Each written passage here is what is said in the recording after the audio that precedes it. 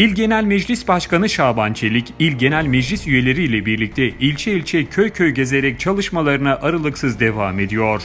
Yol medeniyettir. Düsturuyla hareket eden Şaban Çelik, seçildiği günden beri yer fark etmeksizin her bölgeye hizmet götürmeye devam ediyor.